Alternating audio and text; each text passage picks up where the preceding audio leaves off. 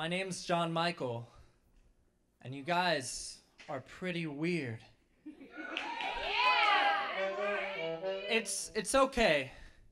We're in the same boat. I self-identify myself as a queer performance artist.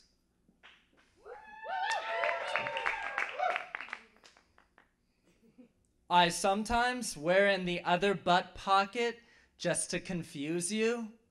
I'm a queer performance artist. And as one, I think I can fix things, not like a car, but like oppression. With my art powers, I have transformed the word queer into meaning more than just gay or not straight. Now it means not to. It says no to categories. It means weird.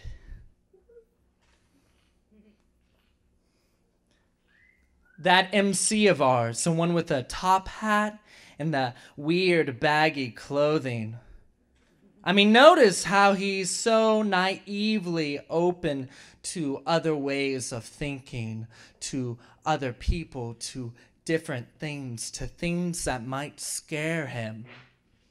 Face it, Russ, you're a fucking queer.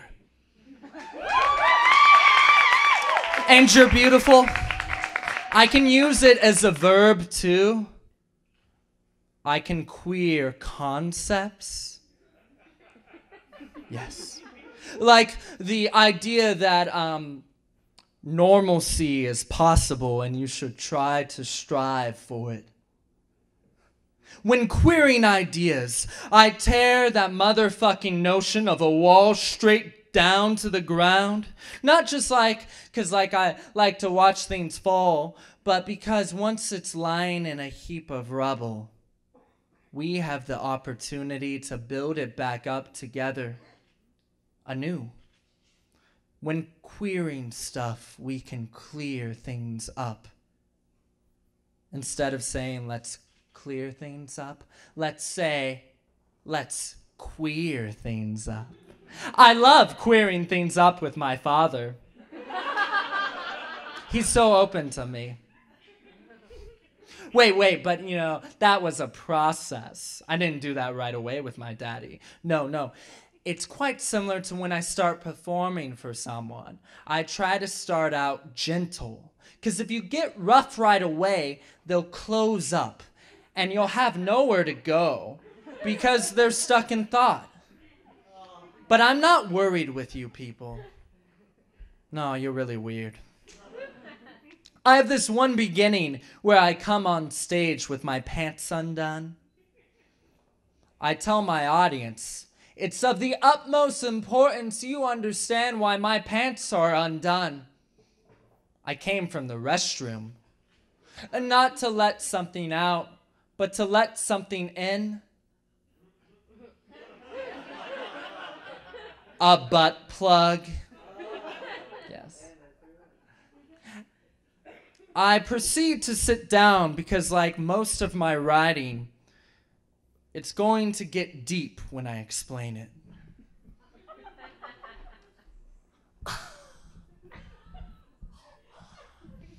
I proceed to make um, a plethora of butt plug jokes, hands free, of course.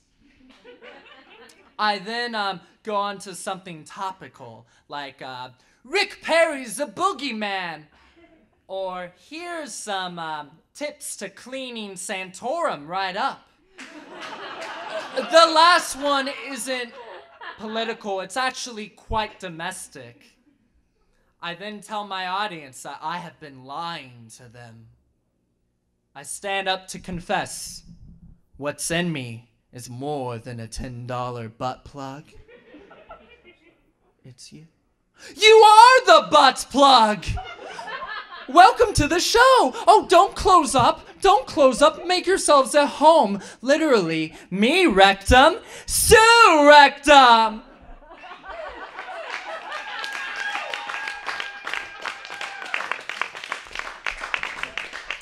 Usually, with uh, people who are trying so desperately to be normal, I start off with uh, something that all of us can relate to from our diverse backgrounds hot teachers.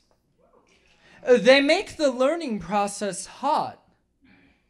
You're twice as likely to learn the periodic table if you can get hard on the periodic table and whatever girls do. I went to an thank you. I went to an all in Dallas. I went to an all boy high school, a Catholic school, and um, we had this hot teacher. And hot teacher's name in this case is Mrs. Tuts. What? Thought it was gonna be a dude? Nah, man. This was in high school. To have a crush, you need to know what is crushing you. Mrs. Tuts, well, was known by all of us boys at my high school as Mrs.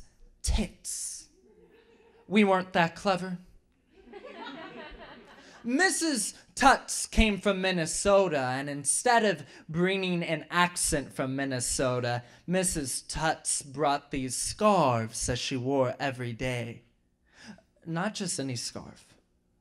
Fuzzy, fun, flirtatious, glittery scarves. It didn't matter if it was August in Dallas, Texas, she'd be wearing one of those fuzzy, fun, flirtatious, glittery scarves. And all of us boys, we made fun of them. I mean, we had to. Not only were they fuzzy, fun, flirtatious, but they were glittery, so they were gay. Gay. Secretly, all of us boys were fond of those scarves. We'd never admit this, though. I am admired at the uh, finesse. Wait, wait, no, I would have said a commitment. Yes, commitment that she um, had to pull off those scarves with. The other boys admired how they amplified her already massive breasts. Mrs. Tuts was cool at my school because she was feminine. Everything feminine at that school was placed onto a pedestal for constant worshiping. However, there was a system to that worship. Things you were supposed to do, things you weren't in displaying it. You're in ninth period and you're sitting at your desk. This is what you were supposed to do. Tuts is walking up and down the aisle, and she drops a pen right next to your desk.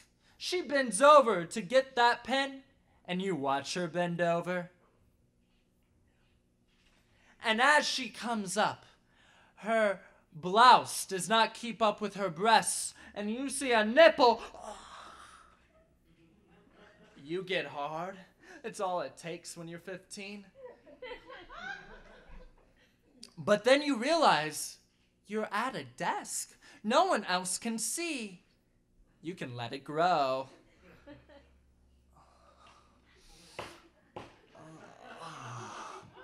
You're in this wonderful place in your head where there's this fantasy is taking place of what you think you're supposed to want.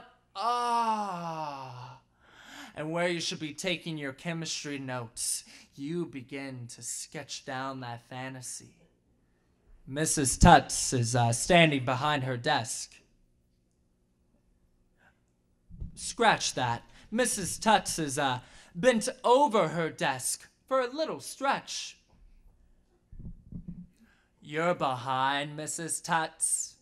You're in Mrs. Tuts.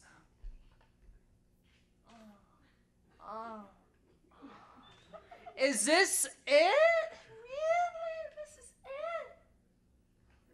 Oh, oh, ah, ah, ah, ah, ah, oh yeah, ah, ah, ah, A, A, A plus, A plus, A plus. Taming your chemistry teacher by fucking her doggy style as you pull up on the reins that is one of those fuzzy, fun, flirtatious, glittery scarves is what you were supposed to do. What you weren't supposed to do is go the gap and buy one of those fuzzy, fun, flirtatious, glittery scarves. You just weren't. I chose to um, draw pictures like that, creating a distance between what I wanted and what I thought I wanted. The distance is quite fitting because that's how you're supposed to show your affection for femininity at that school at a distance. You could love and lust for femininity, but you couldn't emulate it. I didn't know how to do that. At age seven, I was given this bracelet to inform my every decisions. On it were inscribed the letters WWJD.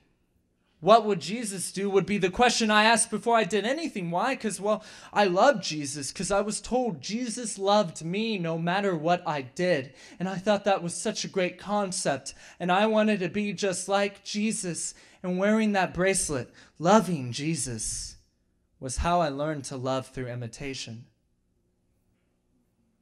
It's a wonderful way of living, one where you choose to open yourself up to someone. You let them into the soup that is you, and you stir round and round. Where are you going? You don't know. Somebody else is in ya. And that's the point. The great thing about that way of living is that you'll never stay stagnant. I so wish I could tell all of you that I've never been stagnant. I sincerely wish that. Really. I wish I could make that statement into a Facebook status that all of you could like.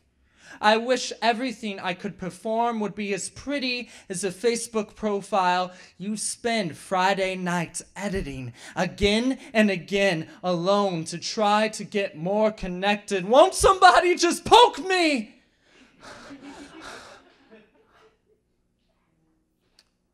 I drew pictures like that because I wanted to fill the role that I thought I was supposed to fill. I wanted my brother's eyes.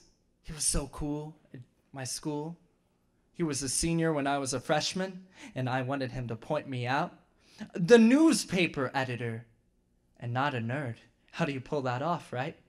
I wanted him to point me out to his high school friends. He had so many friends. I wanted him to say, Hey, you see that high school freshman over there who doesn't think before he speaks?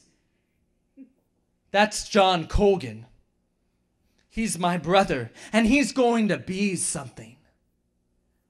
I so wanted to be acknowledged that I failed to acknowledge being myself. Thank you.